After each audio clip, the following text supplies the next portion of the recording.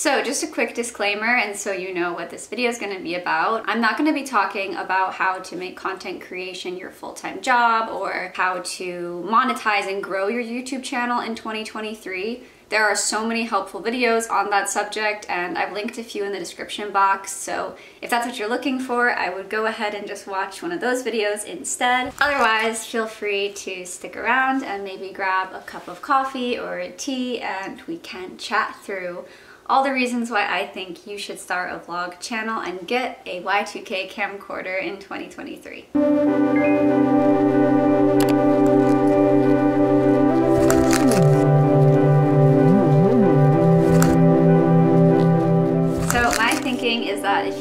On this video, it's probably because there's already a part of you that's interested in vlogging or at least in Y2K camcorders. And my hope is that this can be the video that pushes you to actually take action and get started.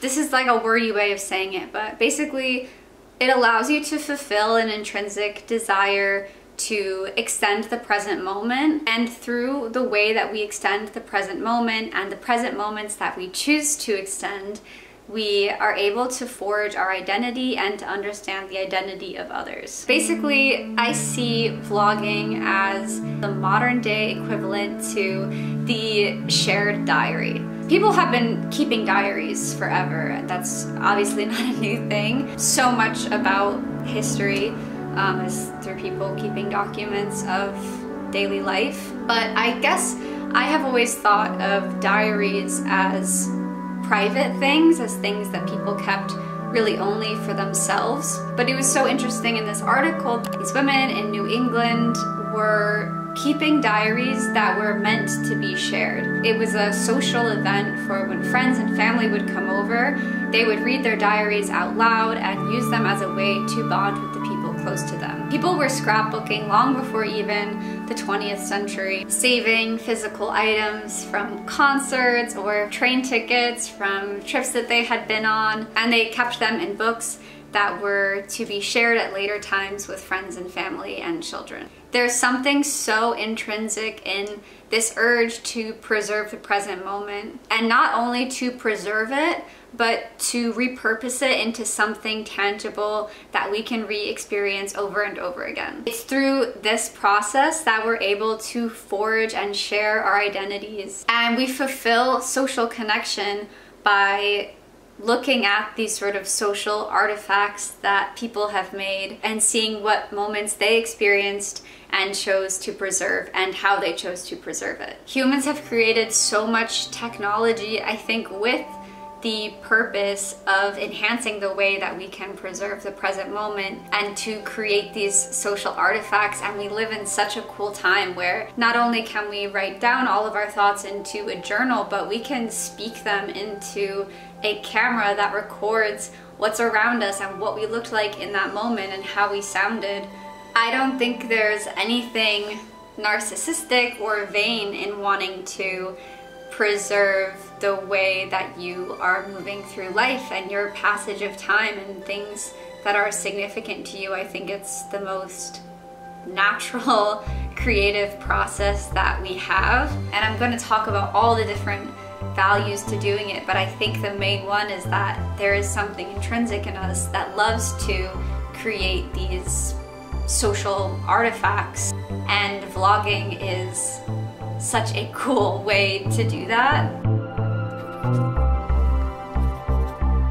Image creating technology and social media rely on this intrinsic desire to create and consume social artifacts. And the social artifacts themselves, like sugar, are natural and can enhance our experience of life.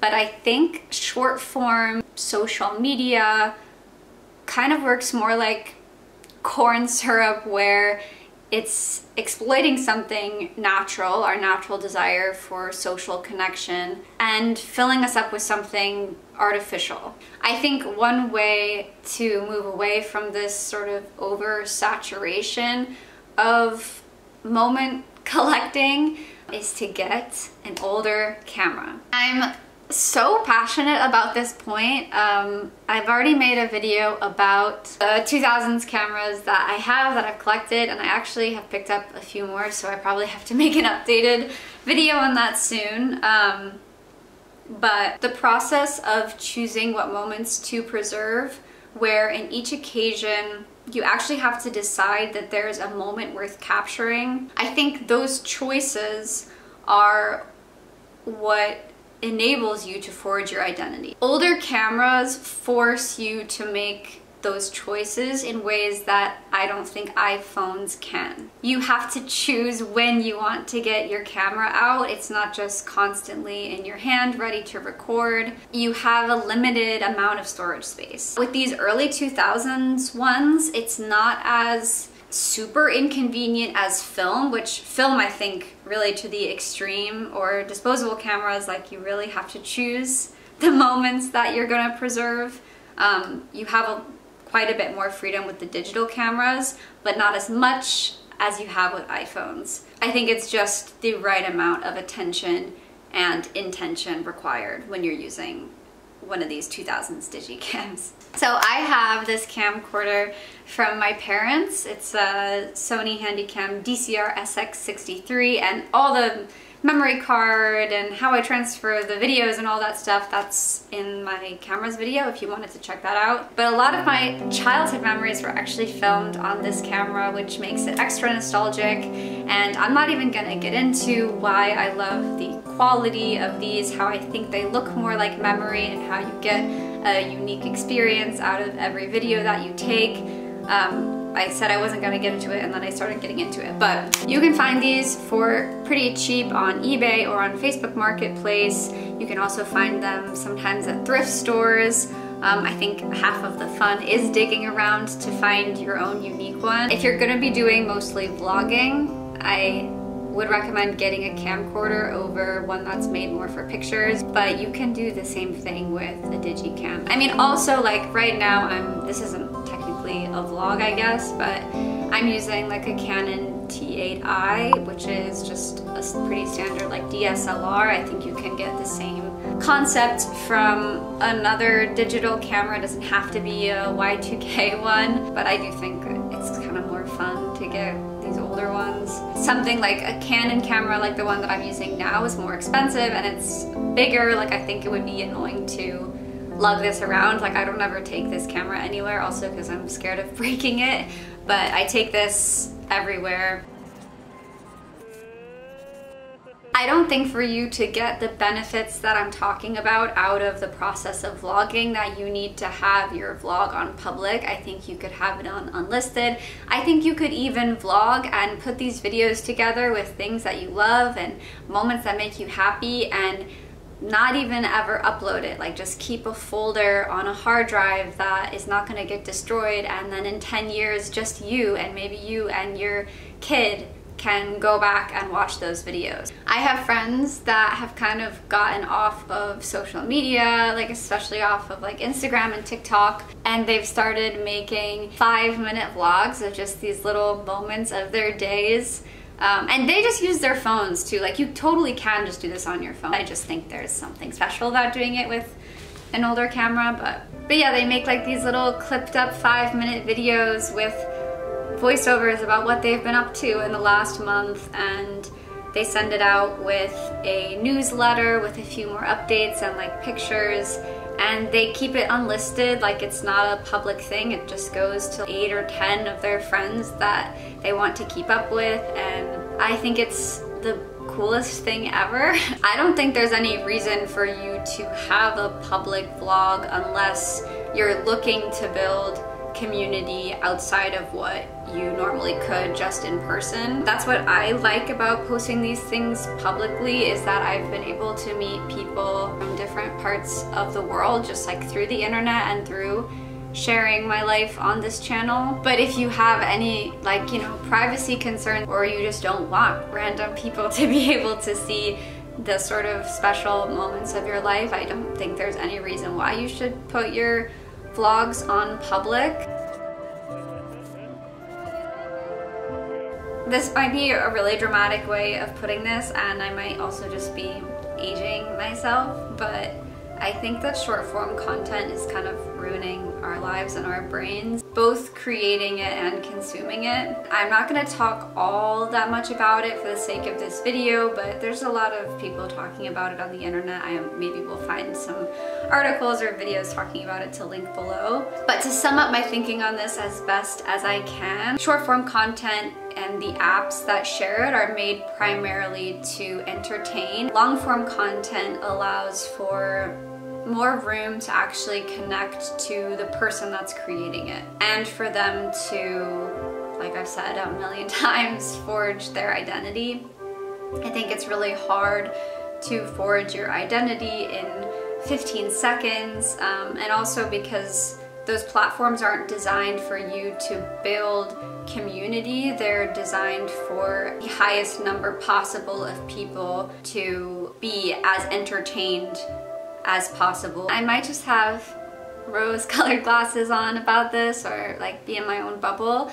But I think that people really miss the connectivity of older social medias like Facebook and Instagram or even like MySpace prior to the prioritization of high volume short form content and influencer marketing where you could see the moments that were being chosen by your friends or people that you chose to follow and feel like you were able to connect with them. I've been using this app called Camcord which is similar to TikTok but it's for long form content and you just film it on your phone, but it's like five to 10 minute videos. It feels so much more human. Like the people that I'm seeing on there, even though like I don't know them at all, I'm getting different glimpses of their life and the moments that they're choosing to capture as opposed to when I scroll on TikTok kind of just feeling entertained, which I think there's a time and a place for that too. I don't think there's anything wrong with entertainment. I think short form content is a great way to sort of expand your reach or if you do have a business, I think there are great benefits to that. It's basically like you can run free ads. I just don't think it fills our social desire or our desire to consume these social artifacts that I keep talking about. From the creator side, I think posting to YouTube feels more like I'm learning skills and slowly building a body of work. But TikTok, every time I post on TikTok, it feels more like playing the lottery and the intermittent reward of virality is really addictive. YouTube doesn't feel addictive it feels more like I'm building something slowly for myself that I want to keep returning to. And I think that's kind of the key. Point number, reason number something, I don't know actually. If you start a vlogging channel and you get yourself a cool Y2K camcorder, you're going to stop thinking that your life is so boring. I get comments all the time about people wanting so badly to start a YouTube channel or how they always wanted to have a YouTube channel, but their lives are just too boring. I really believe it works the opposite way. If you get a Y2K camcorder, you're gonna find that things in your life that you think are boring look cool and interesting and different through a different lens. You probably are already doing so much more in your life that's worth filming than you realize. This kind of leads me into the next batch of reasons why when you're vlogging it's kind of like you're bringing a friend along with you places so you get to sort of talk and share your thoughts as you're going along which feels way less lonely and two you get to explore not only your life but your life through another lens you get to explore what is gonna look cool with this particular camera that you have? How does this camera capture light? Your window to you right now probably just seems like boring. It's just your bedside window with your empty water bottle and your candle sitting there. Like, no one cares about that. That's what you think. But then if you record that with a cool camera that you got, you just have this moment of your life, something that you see every day now is preserved, and you put that into a video you put your thoughts on top of that, suddenly something that was so boring becomes something so special to you. And I think if it's special to you, you, it's gonna seem special to other people. That's a very long, roundabout way of saying that if you start a vlog channel, I think you will notice that your life is a lot less boring than you think it is. So on top of being able to enjoy your alone time more or appreciate small things more, there are so many skills that you will gain if you start and keep up with the vlog channel. So let's just go through them. One, public speaking. I know it's not like public public, but talking to a camera is super uncomfortable at first. Eventually you learn how to do that and get comfortable doing that, and then that transfers to being able to have conversations with people or being able to speak on a stage or in a public setting. And when you're listening back and you're having to edit your vlogs, you're gonna notice things about the way that you talk and some bad habits that you have, and you're gonna improve. You're gonna stop saying like as much, which I still am so bad about, but every time that I go to edit a vlog and I see that I've said like 200,000 billion times and I have to edit out every single one of them, the next time that I go to vlog, I think I say it a little bit less, or at least I have awareness of what I sound like and how I'm presenting my thoughts. You'll learn how to present your thoughts. You can have all these ideas in your head, but if you actually have to communicate them, there's a skill involved in that that you'll grow only through doing it. On the same side of that, you will learn the skill of writing because if you want to do any kind of voiceovers or add a storyline to your vlog, you're going to have to write down your thoughts in a concise way. You're learning videography, like even if you just take your camera out and record a few shots of your street and your dog in the backyard, you're still learning something about the difference between what you see and what's in the camera or where the light looks the nicest. Video editing itself is just an extremely helpful skill and you can get other jobs or go into other fields just from learning that. And there's a lot of free software. I have a video also on editing that you can check out if you want to learn edit. If you want to do fun mixed media elements in your video or little animation bits, then you're learning the skills of animation and mixed media art.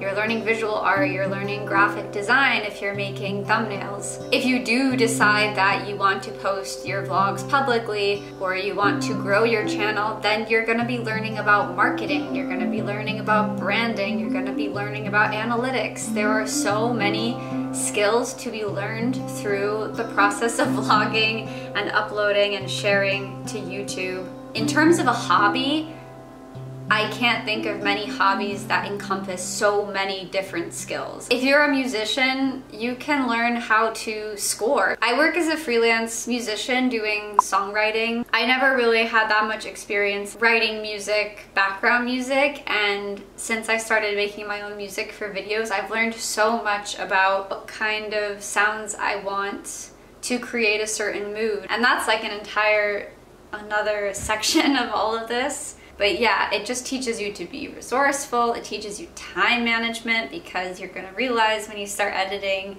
how much time things take and if you wanna upload on a schedule. That's something I haven't really even gotten close to figuring out yet. I could just like go on and on about all the different skills that you can grow through running a YouTube channel of any kind, not just a vlog channel, but um, yeah, I'm afraid this video is already gonna be really long, so I'm gonna move on from that.